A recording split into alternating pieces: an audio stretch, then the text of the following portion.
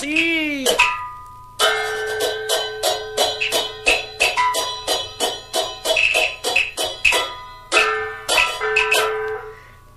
将火血将起心呐，说破英雄惊杀人，他就门内来掩饰，随机应变，心如心咯，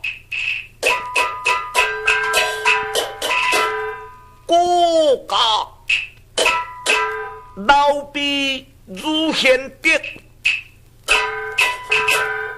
昔日在池州拜殿，古社会兄弟会面啦，了后受过我中兴荆州老表的同情，民国本官来到新野关，暂就新野起身，兴起中兴的同情呢。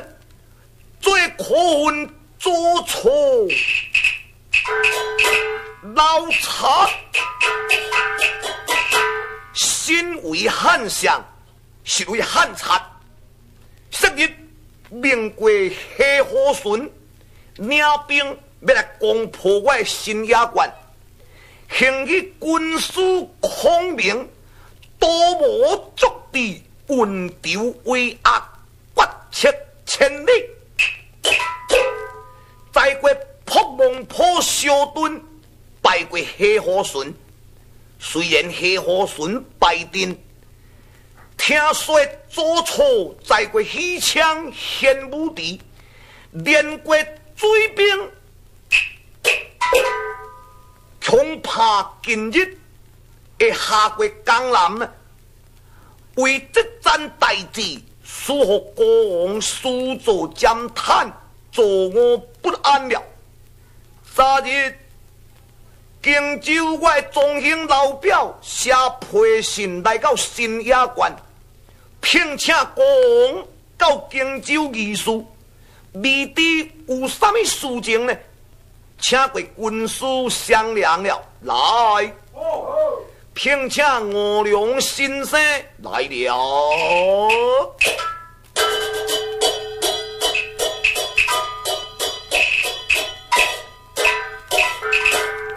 军师请罪了，感谢主公。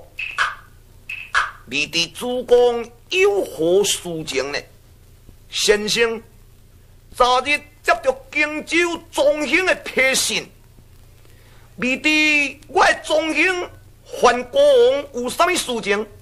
事先请示军师了，启禀主公，无为不事了。昨夜间，三人夜观天枪，闻知荆州老表已经白晓，照三人的看法，也必须将驻荆襄高军让给主公了。主公唔通失去这个好的机会了。现在主公也要成就霸业第一，爱得过这位荆襄为家。第二呢？出国西川建业，大事继承了。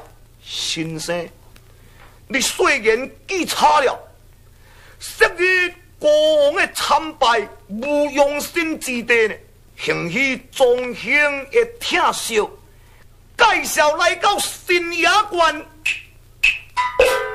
虽然新野是三壁小关呐，在这个所在。会当暂就起身，今日入外中兴兵险来得过荆襄高军，难免会受人批评了。总是总讲人生的运命，听天由命啊！一旦伊的请帖到处，国王不敢怠慢，翻过。因点得着一点，随我往进荆州，希望先生暂时代理啊，接掌新野官了。主公，泰山人定守新野，但是呢，唔通坐失良机啊！假使坐失良机，恐怕后日悔之莫及了。听天请先生入来，请了我。也来，好，二弟三弟随公望进荆州了。公了。Thank you.